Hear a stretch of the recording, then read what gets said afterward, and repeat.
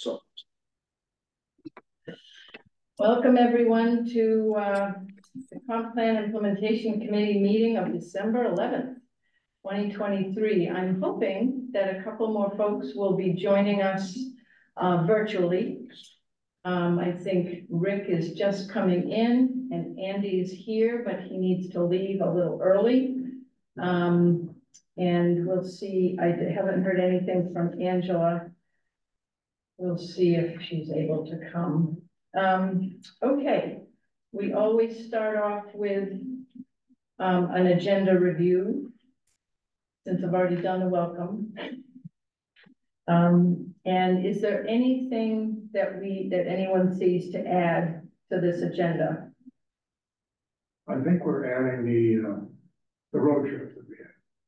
Yes, and I guess what we could do is add that. Um, as this, well, I'd like to add that when, um, Andy is still here. Right. So five fifteen hard stop, is that right? So we, we're gonna put this, the, the, down, the trip to the downs at the first bullet under item four, recode. So we can talk about that there, and Andy will still be with us. And I think we're gonna, we'll gain a little time there, great. And the only thing I have to adjust is under that same item, recode update, the select board update is not gonna be on January eighteenth, it's gonna be on December twenty-first. Oh. So, I've already started drafting, so if I ever get a little discombobulated in this meeting, my head is not on this agenda, it's in the update.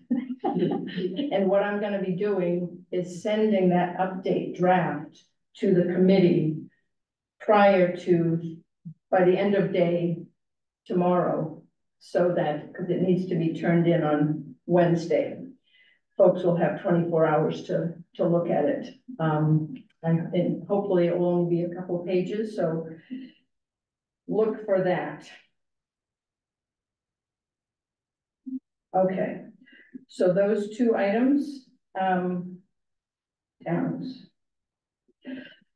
Okay, I don't think we have any members of the public, so we will nix that, NA, and move into administrative items. Um, the minutes of the November thirteenth meeting were distributed. Thank you, Robin. Um, is there any sort of comment, correction, whatever? Speak up. Hearing none, I will assume that the minutes of November thirteenth are approved as sent. Just give me a little nod. I um, Margaret raised her hand here and I don't know, gonna say, it's in the- Is that, a- is that Margaret? I needed to promote her, so Oh. maybe that's all she Maybe that's all. needed. Glad Margaret is with us. Okay. Margaret, welcome. We, um, we just approved the minutes of November thirteenth. Um, and unless there's anything to be added or changed, good, nod, beautiful, thank you. Okay, the only, um, item, and it's, I think it's a quickie, is our meeting, our workshop meeting this month falls on the nineteenth. Um, I unfortunately, because I've started drafting the, um, update to the select board, I've blown out any sockets I could use for this discussion right now, so I'm gonna rely on my fellow committee members, if there are any ideas about how we should use that meeting, um, I'm all for holding it. And if people need to attend by, um, remote, you know, rather than in the conference room upstairs, my thinking is to simply, you know, have a look at the calendar ahead. Um, That was gonna be my suggestion, is just look at our, our schedule going forward. look at brilliant minds. Um, so I, and, and if anything comes up between now and then, we could use that, but are people okay about if, if your calendar should have a workshop on it every Thursday, every, every third Tuesday, um, four to five, one hour. If pe- folks can come, I think we should hold it. Any objections? So it's a third Third Tuesday. Tuesday, yeah, four to five. Uh, meet in the upstairs conference room. Right now, there are a lot of meetings in that room for budget purposes, so we might get bounced. Which would be, I guess, down here is the only place to be bounced to, right, but. Okay. All right, so that's gonna happen. Calendar and work plan review. Okay, right into recode update. Um, I'll start off and allow other minds to contribute who went on the trip. Um, Margaret was able to go, she met us there. We went to Scarborough Downs, we've been talking about it for a few months. And thank you, Andy Sturgeon, for, um, you know, encouraging it and providing others of us with transportation. Um, and Julie worked things out with the folks down there, the planning director, so that we met with the former planning director of Scarborough. And the lead person on the development team and, um, another developer. And very exciting things are, are going on. So Julie and Sky and myself and Pete went and Andy driving. And then Margaret met us there. So we, you know, the committee was well, well represented. And, um, it was fascinating. We, we spent well over an hour, an hour and a half in this conference room looking at plans and photos and, um, then we had a tour. Um, and a little bit of a tour before, and then, bless him, Pete summarized our, um, our experience. Um, and, and I think, you know, it was wonderful to sort of capture that. So what you're looking at on the screen now, Julie sharing her screen, is some photos of some of the housing.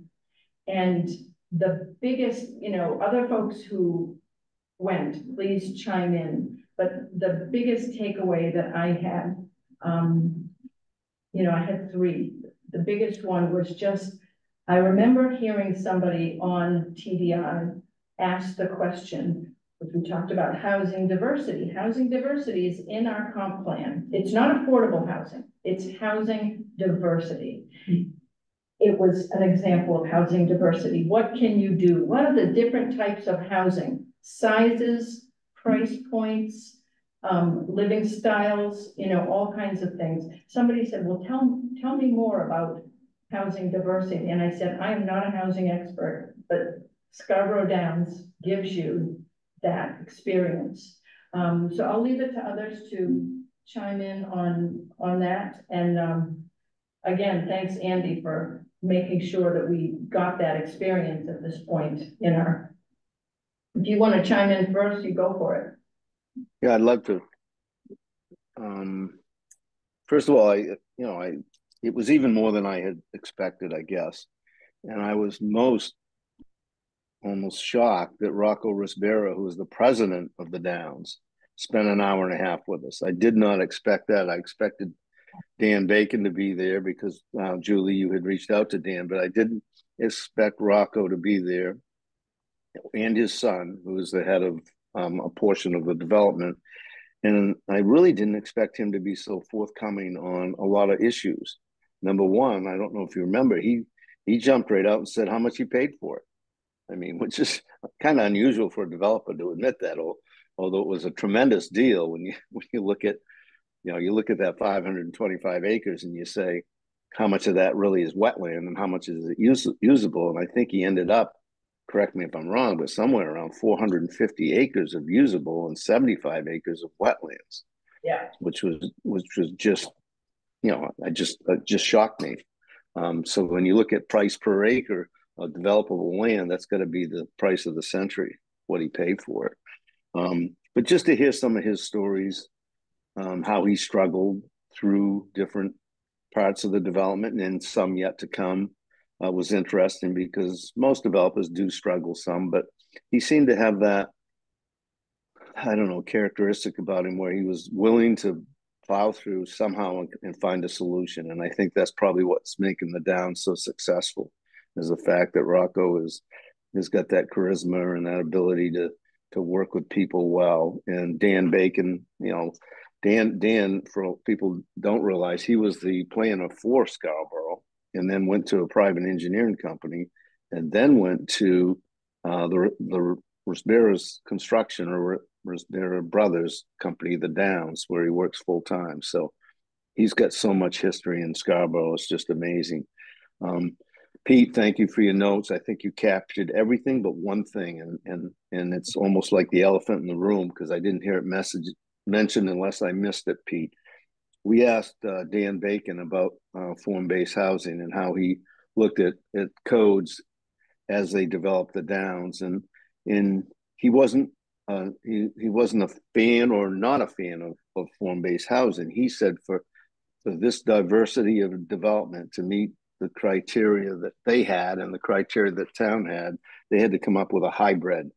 Mhm. So it was a, it wasn't all form based, and, and neither are we. We're taking form based on a certain part of the town, but I I do like the fact that there was some flexibility. Now I don't think that flexibility was born in the initial codes, so I think they've worked through it, and that's been part of their struggling. I can't remember who said it at the meeting, but someone said about can't if we use master planning, won't we have that flexibility?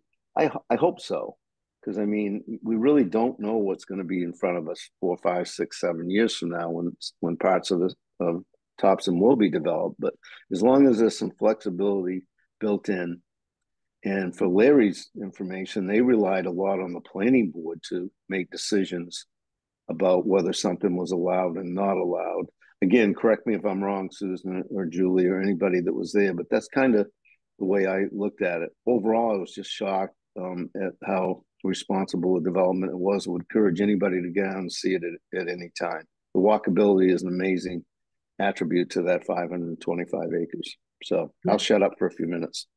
Yeah, thanks for mentioning that, Andy. Um, the, the, that, because I did ask the question about form-based code and and right away he said, um, you know, it was a hybrid.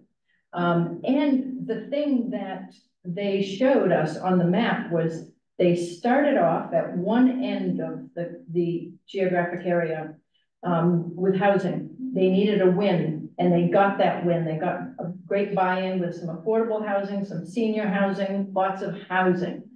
That's because they started on that end, because the Route One end, because of utilities. They needed to start on, because it was a practical. The other end, which I don't, is the Payne Road. That's the light industrial area. That was number two. They're, they're working on that. The area that's mapped out that I'm sure is a hybrid of form-based code is the center, which is the town center. And that's mixed use. That's where form-based code does its magic when you have a mixed use, when you're purely residential, it may not be work so well. I don't know. I would love to have Leslie right here to say, yes, you can. But that's my understanding is that it works best when you have a mixed use buildings area and, and a walkable center. So I think that's where they're going, but it was, so anyway, that's, go for it. The, uh, uh, I asked a question about retirement community. Yeah. And there is a retirement community directly in the plans. Um, uh, covering, uh, independent assisted living and memory care. About one third, uh, each, I forget, hundred and twenty units total or something like that. So I was happy to hear about that because, um, obviously, and, and it, it ties in with the fact that it was mentioned that many of the people who were purchasing the homes, you know, were uh, older folks uh, whose children had left the nest. Uh, although there there there were families also in there, but the majority one and two bedrooms seem to be the, the most common configuration. Um, as we saw when we drove around, we could see that there were like like we're looking at right now, many standalone, uh, homes. But there are also multi-unit, uh, homes, three-story multi-units. Um, and I noticed on, on many of the, uh, many of the individual homes, uh, most of them had garages. Some of the garages were slightly recessed and visible from the front. Others had an access road like this one that we're looking at here, Hmm, Mhm. An access road to get to the garages. Other, and I think the, the multi-story units had a whole row of garages all kind of connected together, uh, which is understandable. I guess that's to save, to save, uh, space.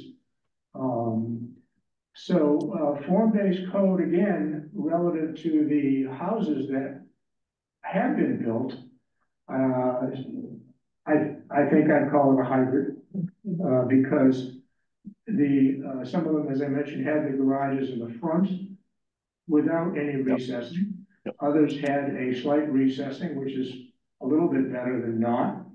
And then, um, uh, others, uh, the multi-stories had the units, uh, uh, separated from the main building itself, so that's kind of Yeah, a. Pete, uh, just to piggyback on Pete, um, he did mention that they've got five hundred units already on, built on site to give it other people that weren't there a perspective, and they expect to have two thousand when it's all built out. So they still got another fifteen hundred units to build.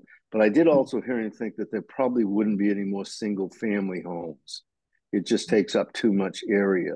Although they have quite a few, like you pointed out there now in this first five hundred. I don't think they anticipate too many more single family. That was my take. Um. Lost my thought there for a minute, but, uh, and also, uh, the, what they call the commercial area, or they call the innovation. Innovation area with, uh, businesses such as, uh, Costco. Uh, and, uh, those were impressive, and those are still, some of the roads are still being put in as we, as we drove through. But, uh, I think the way they, the way they went about it, uh, doing the houses first, and they were, they were gobbled up right away, quickly. Yeah. Uh, and, and it sounds like they didn't do such a bad job with the commercial either. And, uh, of course, now they're focusing on the town center. So I, I think, I think that, uh, level of priority and what they, what they tackled first, second, third, I think just kind of fits with their, uh, overall plan. Yeah. I, I think, I think that total number too, when I said two thousand, that included any residential that will be in the downtown center. Um, Yep. that included all residential, and he also did say two million retail, and that includes the light industrial part, and they've got about a million in place now, so they've got another million of, of retail. And a school, I think, along with the downtown. Yeah, the school is sort of a long-term proposition since it didn't pass muster the first time around. Um, another thing that I took notes on, um, was that they have donated, uh, twenty-five acres to the local land trust. Um, there's an area on one side that sort of exceed, you know, was outside the boundaries of the Downs proper that they actually own, but they have donated that to the land trust.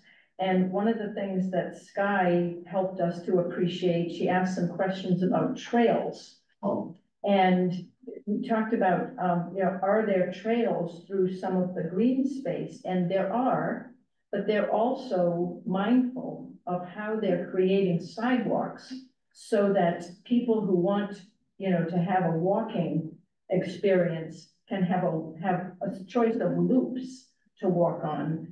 Um, so they're gonna actually have twenty-five miles of trails and sidewalks Mm. within the downs, um, when they're done. Um, and any other folks wanna chime in before I keep yakking? Margaret, I'm so glad you were there for most of it. Yeah, um, yeah, I super appreciated the opportunity to get this perspective from the developer side. Um, on a project as big as this and the fact that they were willing to spend so much time with us that was really lovely. Um, and the fact that they had so much housing diversity i thought that was really notable and interesting. Um, i was really excited to see uh, sort of the fact that it's like a little mini town um, like that they have different districts uh, all connected to one another. And I wish that I had been there to see the tour and see really what it feels like to be in that space and like, you know, commute from the housing area to the light industrial area. Um, but I and then I am really wanting to see I think they they haven't even started constructing the town center yet. Um, that that to me seemed like the most applicable to our Crooker site. Um, and that was that's I think that to me was the most exciting concept that I saw. Um, and I'd just be I'm like really interested to see how that will come together. Um, but then the like the housing type, the the character of being in the space I I just wish I was there for the tour because driving through, it didn't really feel like a place that I would want to have a that I would want to live, um, just because of how dense it felt and um, the lack of trees. There was it was very like exposed. Yeah. And I didn't I also didn't notice like I'm very um, interested in like communal places to be in nature, which the trails are great. Um, but I think gardening is like really important as well. And I don't know if there's, you know, ways for people to engage on that like person to person level uh, in in nature or like have their own space. So yeah, I'd love to see what like walk through the the housing area. Um, and Did then also I, Margaret, did you see some of those really small houses? No, I saw a picture. Yeah, and there were several, I mean, I don't know how many there were of them, but my guess is that they were probably around five hundred square feet, five hundred and fifty square feet. It looked like each of them had a loft and then a main floor. And all of them had a little sort of, uh, porch, if you wanna call it that, right on the sort of ground level. Um, just great looking little structures. Um, so that was sort of at one end of the Mm. yeah. And there were trees they had planted, but those are gonna take years. I think they must have clear cut the, or maybe the trees had been long cut down in certain areas. I, who knows, but yeah, that, that will take some time. Trees are slow. Yeah, I'm also, I mean, still learning about like, you know, how much how much it costs to develop to create housing. Um, 10% affordable sounds low to me. I I don't know if like I have no concept of if that is um typical. Um, but it sounds like the cost of building is going up. But I just yeah, I wonder if it's if it's affordable enough for the folks who are like working in those other areas to be able to afford living in that space. So Yeah, yeah, Is good it- question. yeah, good case study though. I'm glad that we had the opportunity to check it out. Yeah. Andy? Yeah, just to Margaret, just a little bit of feedback on the affordable housing. It's just it's such a struggle right now. We're trying to make it happen on so many projects. Um, it's just the cost drives it up. It just drives drives it up, and the incomes are nowhere near today um, what they used to be relative to affordability of a home. It's just affordability of a home is just so far out of reach today. It's something that I I just think the federal government's going to have to subsidize somehow housing for. I mean, you can have a job and make sixty or eighty thousand dollars a year and not be able to afford a house. That's a sad. When you look at it, that's a sad, sad thing. Yeah. Um, there are a couple projects out at Brunswick Landing. I, I can't remember that are doing. They've got some subsidy and they're doing a great job.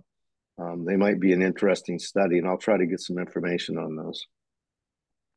Julie, you don't have any, um, photos of the center I don't, you know what I was going to do, um. I was going to pull up the website, I, I had it up before and and, you, you saw some of the, yeah, oh, here it is. the downs. And while, while Julie is locating that, I just wanted to mention three different topics that got brought up with the developer and Dan Bacon. Um, one of them was transportation. There is transportation within the downs. They're linking with, um, the Biddeford Saco network. And so they're, they're, they're already planning for that. They're, they're identifying stops, um, on the route. Um, another question that we raised was gas stations. They're only going to be on the outside rim, um, and I think it's in the light industrial area. Um, I think that's what my notes said, um, where they already are along the Payne Road. So they're providing for that, but they're very, um, circumscribed in the area where they can be. And the other was, wait for it, drive-throughs. Now, someone check me on what the thing was with drive-throughs, but my understanding was coffee shops, coffee houses with a drive-through is it for drive-throughs in terms of what is allowed.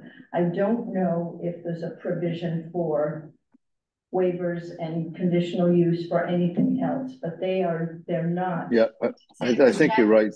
For I think you're right, restaurants Susan. weren't allowed, the drive, drive-throughs for banks were, Allowed? were allowed. Okay, banks was for are restaurants. Restaurants are not. Right. So, Um, and, and, go ahead. You, you mentioned gas and, and I think the, they said the only gas is the one that's with Costco that's out there. There's no other room for gas. I think that is the only gas station that's gonna be in there. Um, Okay, I don't want, I don't want to lose that upper right picture you've got right there on the screen right now Mhm. for a later discussion, because that ties in with our, some of our vision where some of the houses on the right are up to the road, but you do have some, you look how those buildings are on the left, and this is the entrance into their downtown from Haigis Parkway. Just as an example, I just want to make sure we point that out at some point. and one of the things that, that did come up in the discussion is green space. And one of the things, um, he talked about is, you know, they've done a lot of, the, the focus has been on placemaking. Um, that is something that form-based code is used for. Um, they've incorporated a significant amount of green space as a way to, um, sort of address quality of the place and compensate for the density of development. So that, and where the green space was most visible was in that town center area. Um, you know, when we were sort of looking at the, the whole twenty-four, five hundred and twenty-five acres with, you know, various kinds of housing on, on one end and the light industrial on the other, and the Haigis Parkway photographs that Andy referred to on the southern piece. The center part, which is not yet developed and where there's the biggest challenge um, to get the utilities in. That's the, the town center is where there was a significant amount of green space um, in there with, you know, with what they're hoping to have is restaurants, some office space, housing, you know, it's, um, it's very much in line with, I think, what we're envisaging, envisaging is possible for the Crooker site. Um. So anything, these are great Yeah, I got a. Question for you, Susan. Yeah. So was there any, you know, direct takeaways of things that either validated what we're doing with Recode, things that we would want to incorporate that we haven't already or rethink that we have? You always on- ask the good questions. Um. I'll leave it to folks who came on the tour and listened and, and you go ahead, Andy, jump in. Now, the only thing, Rick, that I, I think was a great takeaway was some flexibility.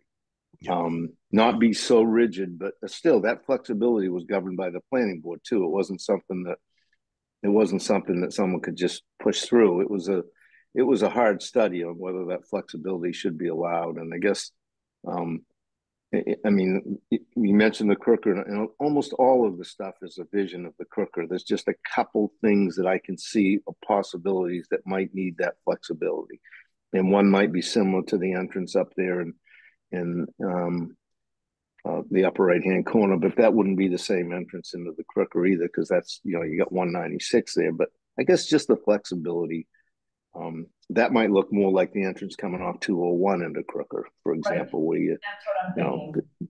but at the same time, if you go strict form based without flexibility, I've got to put that building on the left right up to the road and put all the parking in behind. And just, I just can see some developers giving us a hard time. So, But as Leslie has reminded us, we're already into a hybrid. We are not strict form based as it is. So, and we're building in, we're, we're dealing with a draft where a good amount of, um, feedback has been taken with revisions planned.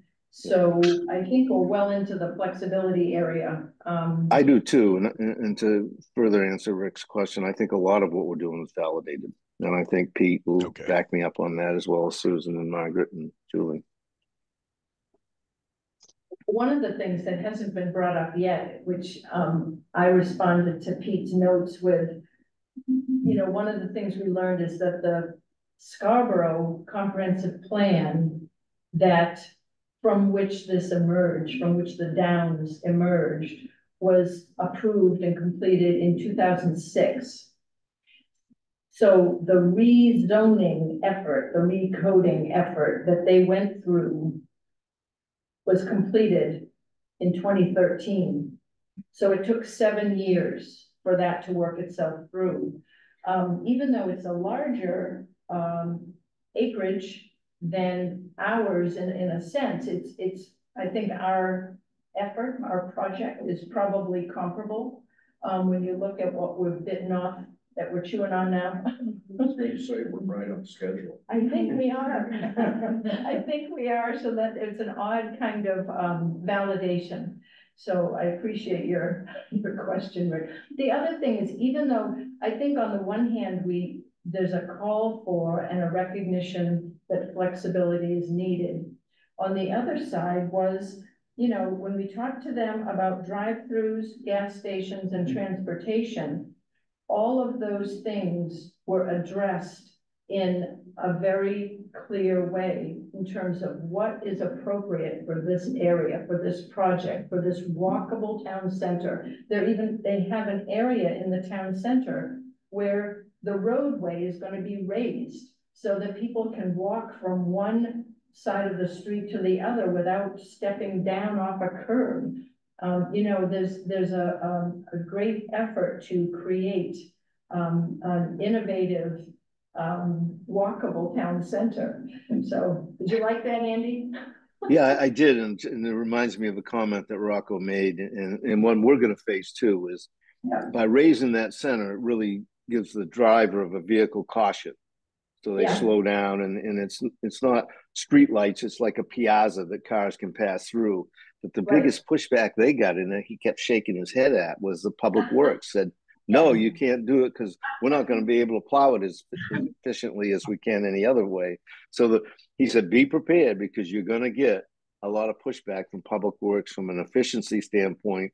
The, you know, the dollar tied to their budget as opposed to, you know, what's right for the, for this walkable com- com- community. So if you want to have that walkability, you've got to give up some, um, public maintenance efficiencies in my, in my mind and try to figure out a solution. And, and Rocco was pretty upfront about that, which is, that's why I chuckled. It was just so, such a, um, almost, uh, predictable argument. And emergency services, he also mentioned. And he talked about how they want to get, be able to get a fire truck around the back of the building, and he suggested that EMS in, in Scarborough go and look at some buildings in Portland. Anyway, there's always a compromise available. Um. I just wanted to, oh, Go for it. I wanted to add, I just don't, I wasn't clear if that raised piazza thing came out of, I don't think it came, I don't think it was connected to the code. It was like a design element that they Yeah. added to create character, Yeah. but it wasn't something that was like I- I created. agree. Okay, Yeah, I Okay. agree. That, and it was very creative. I think it was a great idea. I think it's something that, I don't know if I'd put it in code right now, but I'd certainly, I, I know that we're certainly gonna bring it up if we ever get to the point where we'll be presenting something on Crooker. That's, that's a great, I just think it's a great idea. Yeah, And I, I look at it as a, one big speed bump. Because in downtown Brunswick, you have these little speed bumps which slow down the traffic significantly. Yeah. So, I mean, it definitely ties into our comprehensive plan for safety, uh, as far as walkability, but also to slow the traffic down. I was very. It's something you'll see, in- you see in Europe a lot too. Yeah, okay. and Dan Bacon did mention that speed is a big problem within the downs. A lot of the roadways that they've constructed have to be straight because of whatever, I don't understand, but they're straight. So that promotes excessive speeds.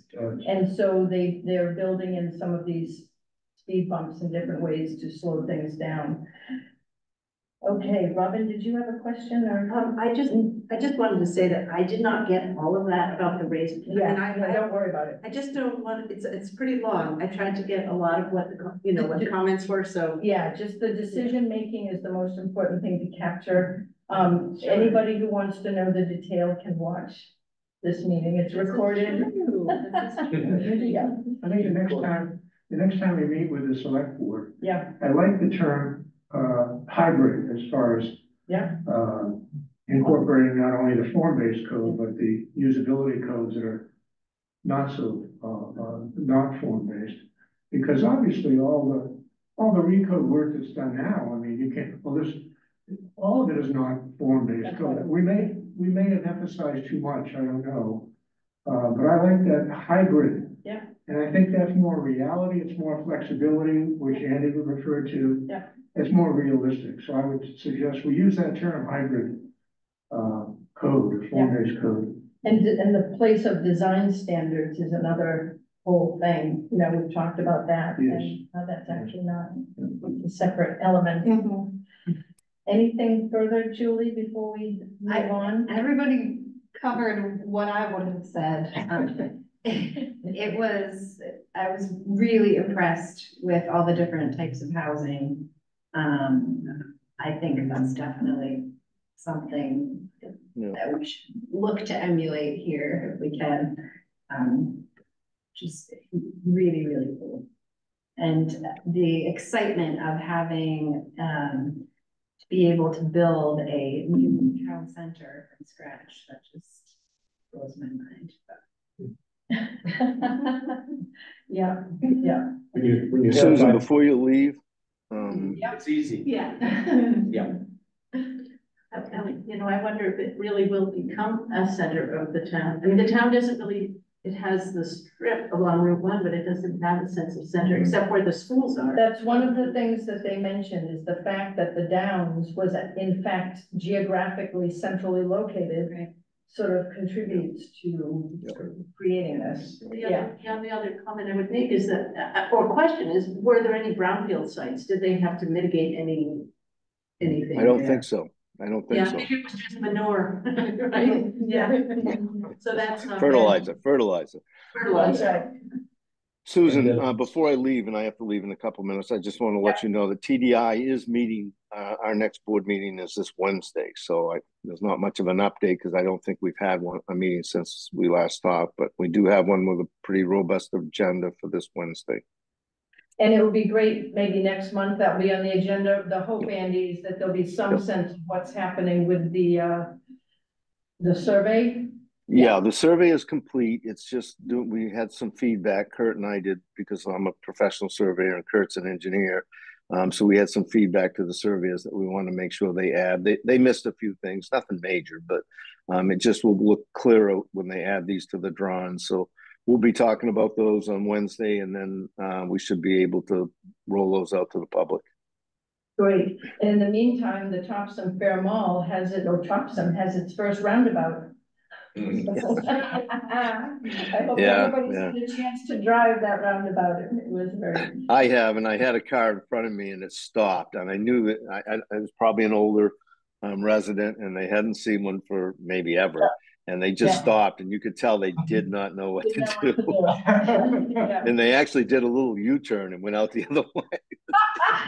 They, they didn't even go around the circle. They just did a little U-turn. Oh, my. Oh, my It'll It's sort still of be like a- you, you know, when you go through the toll for the first time where you don't stop for the toll and it says to you, do not stop. You know, it's like people probably need a little help for the first few times, so, yeah. Yeah, true. Okay, happy holidays to everybody, although I think I'll see you at a workshop before. On Bye-bye. to our next item, um, which is office, no, it's property owners. Ah, so it was a situation where there were more, pro- more of us than them. Um, but I always like hanging out with us, so I, you know, I had no problem with that. It was, it was quite a lot of fun. Um, and, you know, my point of view about the December second property owners open house was that, you know, the good thing is that even though we had a small turnout of people, they really did pay attention to the visuals. Um, they, every one of them had multiple conversations with members of the committee. Um, and what it means to me is, you know, it's like people got two rounds of postcards. They are definitely aware that something is happening with regard to their property. And so that's a, that's a useful thing. It's a piece of information that's going by all of those. Now, do you happen to remember how many postcards were sent? I would like Oh, to I to actually look it have, up. yeah, so let me know afterwards, I will. I wanna, you know, just have that sense. I know you said it's over a hundred, but how much over is a big question, so. And it, you know, I think it gave us on the committee kind of a sense of what an open house is gonna feel like. You know, um, we'll have updated visuals by then, but, uh, you know, it, it was sort of our first run through. Any other thoughts about the, But it- it's one of those things that as a committee we need to do, and, um, it's always, it's always frustrating when you don't get, uh, more input from the general public, um, so that you, you know where you stand with your process. Um, the thing, the thing that always worries me is, uh, are, you know, are there people out there who aren't paying attention, but are going to show up uh, when it comes to a vote, uh, and just say no because they don't understand it. Uh, and I don't know how, how we can address that. that is the big question, and I think all we can do is our best effort. Yeah. To get the word out, and I think a, a lot of it, you know, will rely on word of mouth. You know, as people hear about it and talk to their own little networks, um. And we, this is something that we will talk through a little bit more on the, what's the date? September, no, we're in December, aren't we? Yes, um, so the nineteenth, on the nineteenth, we can talk through what some of the upcoming, you know, um, efforts will be to get the word out. One, one thing I mentioned that I thought was important was we did have a representative of the uh, development community. there. That's right. That's right. And this was somebody who had been part of the October twenty twenty-one rollout of Recode, the project directions memo, where, you know, Leslie and Kirk came to Topsham for the first time, and we had a, an evening session in the library, but we had a daytime session uh, of, uh, you know, developers and former select board planning board members. Um, it was a well-attended, uh, two-part thing. And then, uh, the two consultants toured Topsham. So, and this particular developer had not been part of things since then, since October twenty twenty-one. And he is plugged back in. And in talking with, I said, so what do you think? He said it fits right in with our vision. And he said, you know, there are people who approach development differently. And what was the word he used? He said, we, we look to create destination projects. Um, and basically those are projects that inspire. Um, and they own some important property, um, in the lower village. So I was pleased to hear that. Um, and we, hopefully, we will let them know at each stage along the way if they would like to have a deeper dive um, into what's going on. So, I just have a comment about that. Um, so I, I feel like we could probably use social media a bit to get the word out, like for future mm-hmm. things. And I'm happy mm-hmm. to help with that if there is, I think you said there was a social media, a Facebook page or something like that. So Yeah. I'm happy to like make posts on my, using my personal Facebook or like, I'm sending you a virtual hug. Okay. Two. I think she's friendly you, Margaret. So just to let you know where we stand with that, um, there had been, during the update process, um, a Facebook page was created. It was called Plan Your Topsham. And then, as the update, pro- as, as the implementation process got underway, and we were working on recode, and we realized that this was a slow slog and public education and, you know, media expertise could come in handy. That page was updated from Plan Your Topsham to Vision, Topsham, Your Vision in Action. So, so it's a, it's a new page. It can be further updated. It shows that the previous, two planning directors ago is the administrator. But if you look that up, either Plan Your Topsham or your, your vision in action, vision in action. Um, so we can talk more about that, because what we need to figure out is how do we get to be the administrator on that page and start creating posts. I think there's a lot we could add there. We could put a link to the article in the crier. Um, there's, we could put links to stuff on, on the town website so that it would, people who are mostly focused on um, social media, who maybe don't use the town website a lot, could find easy links.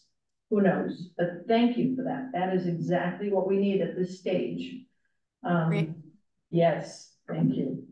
And, and easy links to things on the town website Would be handy. would be handy because the town website does not have easy links. Not always easy to navigate. But not easy to navigate, yes, to find things. Right. Okay, thank you for raising that. Um, anything else before we move on? We have a few other bullets here. Let's see how we're doing for time.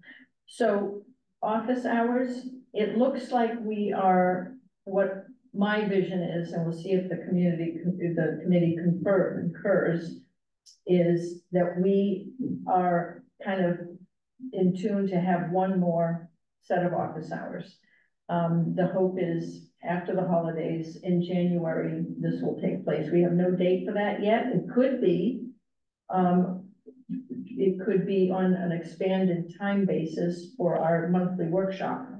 Um, because the January, I don't know what the third Tuesday is in January, but, um, that third Tuesday could be the workshop, or we could find another date. So that's, that's the thing at the moment. I think just stay tuned. We're, we're talking to a couple of people who have, um, you know, been integral to the feedback process that has been so helpful so far.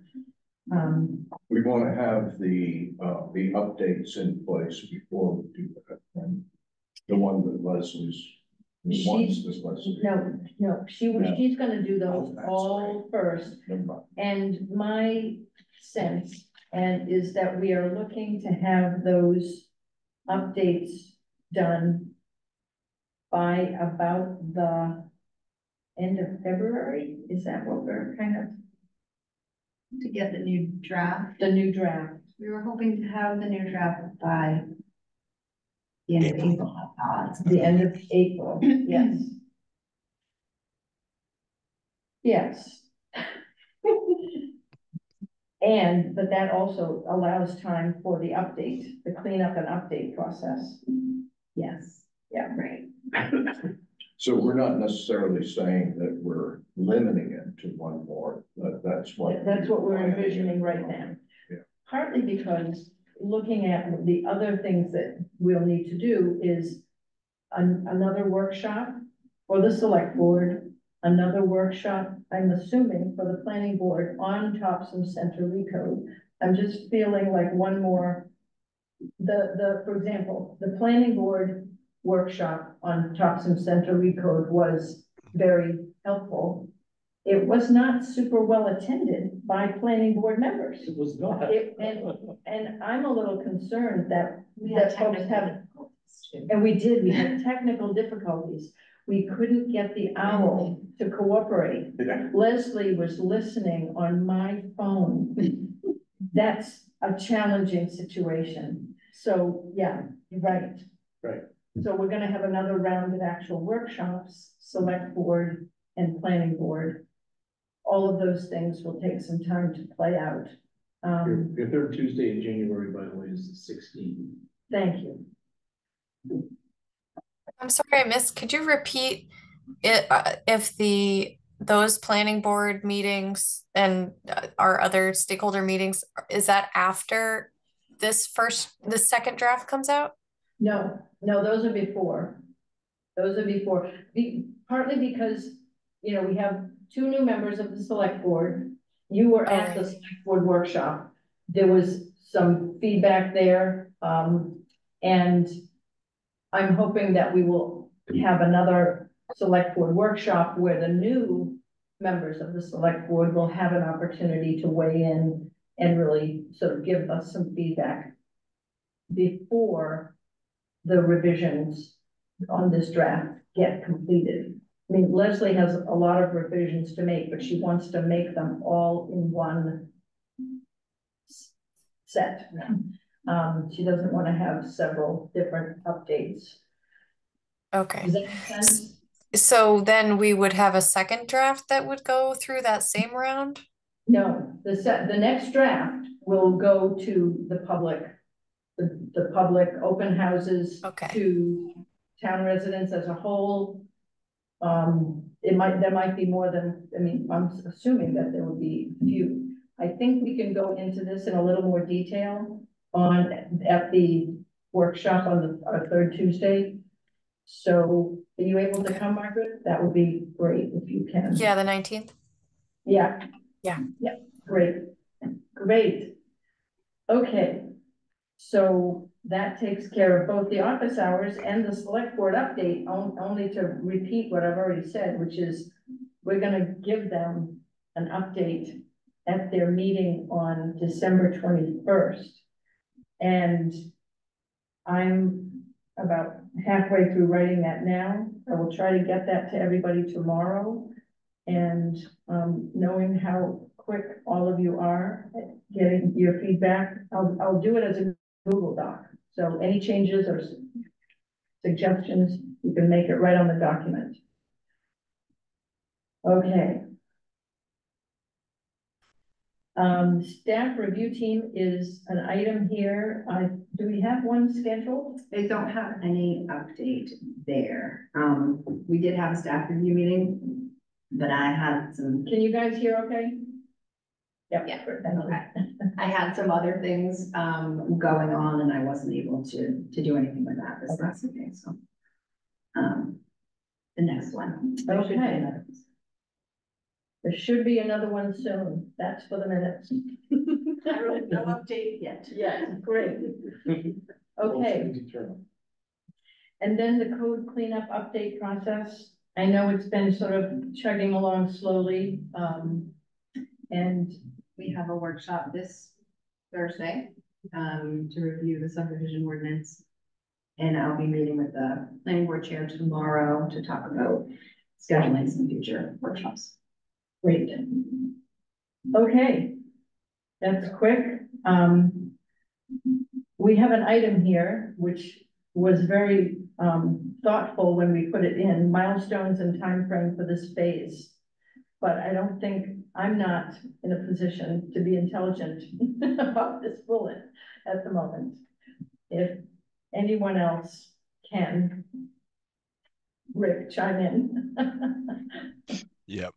Yeah, I think what I was gonna say is that, you know, basically we need to wrap up this phase to get a clean draft that can be um, distributed to the public for comment and feedback. And I think the the goal there, the you know, the real driver is the code cleanup.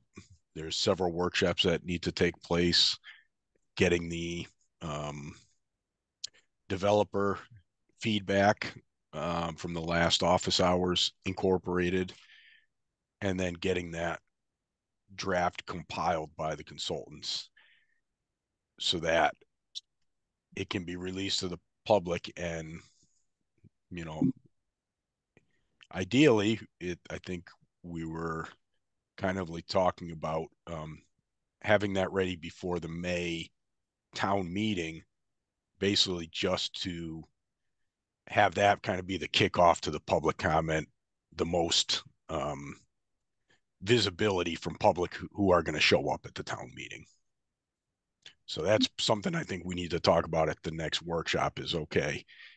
If we're shooting for a May rollout, can we get done what needs to get done between now and then? Right, that's right. And I think just to be completely clear, we're talking about the rollout, not for any decision, because it won't be on the May twenty twenty-four warrant. It will simply be information about what's ahead for people who do turn out to town meeting, so that they can actually maybe pick up some information, um, look at some visuals, stop and chat with us before we go in and vote on the warrant next May. But that would be sort of a wonderful symbolic kickoff of this is what's ahead. Any thoughts about that? Sound good? Does. Yeah, so we'll, we'll get into the granular details more. And then aim for May twenty twenty-five. We'll, we'll Wait. talk about that next. And Larry, I know, you know, work schedules and other schedules interfere, but you are very welcome, as is the public, to come to our third Tuesday workshop for an hour. It's always a, a quick hour, um, and, and to be part of that. I'm still at work in Augusta. And zoning in, you know, zooming in is, a- is an Or driving. pardon. either one.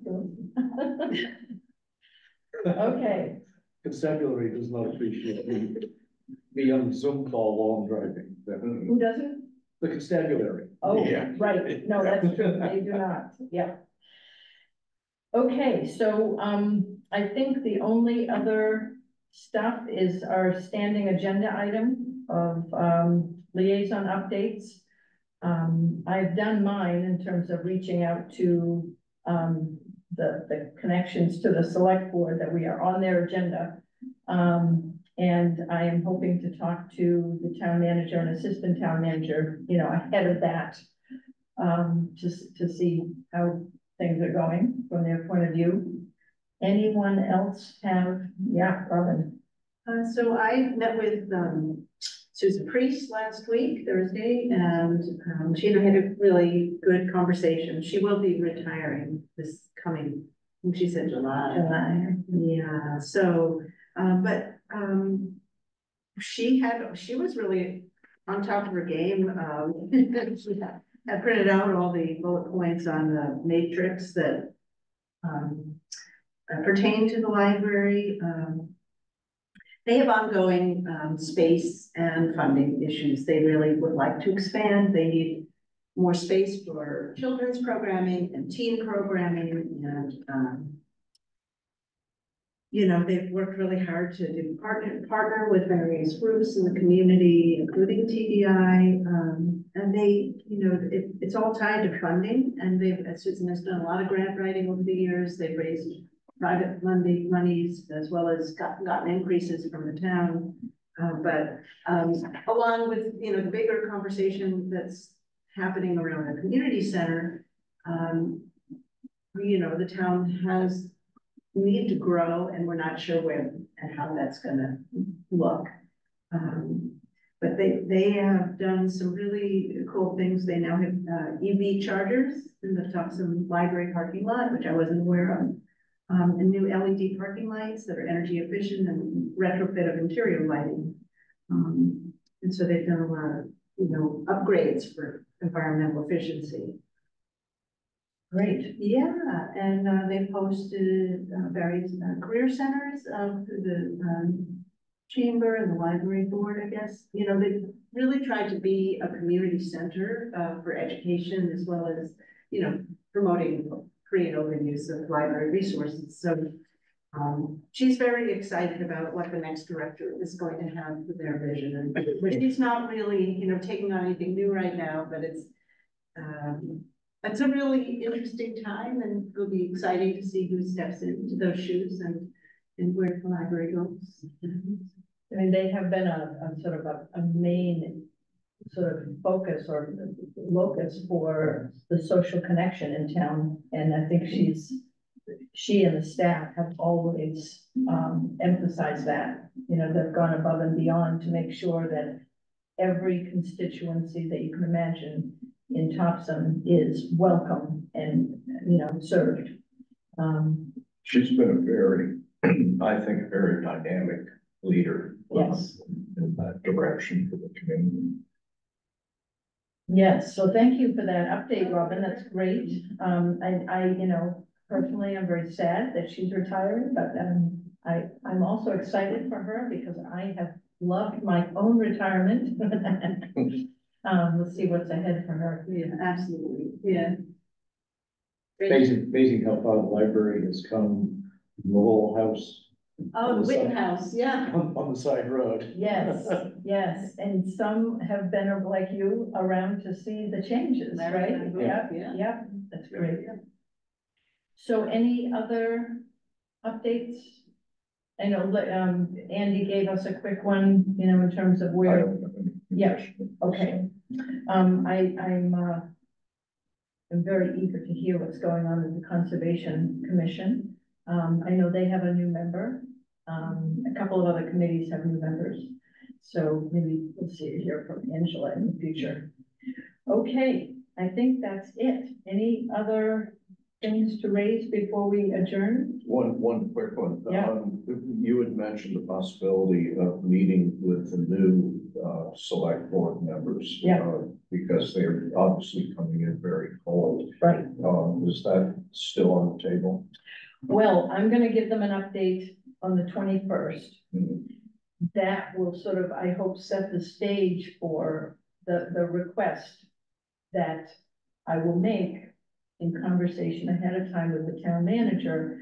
Um, I, you know, we talked about this a little bit. It was in the notes of the November meeting that we just approved, but only a one-liner. Mhm. It was really to say, you know, given that there are two brand-new, um, select board members, would it be at this point, you know, three plus years in, would it be a good idea to have a select board workshop on the twenty nineteen plan?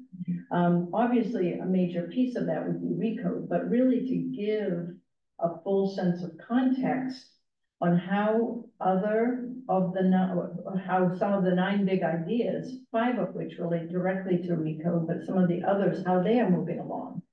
I mean, some of, some of the um, entities responsible for carrying out items in the strat- strategy matrix are way ahead of what's spelled out in the strategy matrix. In other areas, the work is slower. So it might be a very good idea to have that full picture um, presented to the select board and not to have us as the only presenters. To have some of the other lead entities come and be part of that. So that's a thought, and that, that was sort of mentioned in passing, um, last month, but how does that sound? Because I've had side conversations as we've gone to the parking lot with a couple of people. And, um, it seems to be a well-received idea. Does it, I see some nods on the screen. Yeah, I love that idea. I think it's so, I mean, it's the foundation of what we're doing right now, so it makes sense. Great. Good. That sound okay to you, Robin? Is that, oh, and, and I know people have such a, um, a busy schedule, but I think, I think sometimes, you know, the way I've experienced learning things is that you get to a certain point and it's, it's helpful to double back and start over and then pick up the things that I missed along the way. There's a lot in the comprehensive plan, um, that, you know, it would be helpful, I think, to remind some of us who are familiar and then to present it anew to folks who are new in town or new to the select board, new to the planning board. I think the planning board has a member or two who's new-ish, One, one, okay. Yeah. Not new to town, Right, and actually not new to the planning board. coming back on the planning board? Back on the planning board, it was on the, member. yeah, quite a few years ago. Mhm. Interesting, good. Yeah. All good. So, And I would hope that if somebody's on the select board, that they might have some knowledge of what's going on in town. well, they, they You would might, hope. Yeah, you hope we- would, you would hope. There- there's a We can lot, just vote for somebody that. But we don't know, I mean, and they, we don't know, and it, and I think it is, we're the only group that has that task of making sure this comp plan goes forward and gets implemented to the best of our ability, so just that little check-in reminder, it's already four years out, you know? yeah, yeah, that's right. So it sounds like there's broad agreement that this is a good idea, yeah. And I, I'm not, let me just have a peek here at some notes made, but we can talk more about this in, uh, at the workshop on the nineteenth. Um. Yeah, yeah, let's talk more about it on the nineteenth of how this stuff plays out. That would be two days before my update to the select board. Okay, great. So with that, we're adjourned, yes? It is, it is now five thirty-nine. I love adjourning early. Isn't this great? We've, we've had some late nights. Okay, thanks, everybody. Well, it worked out Because Andy left early. Yep.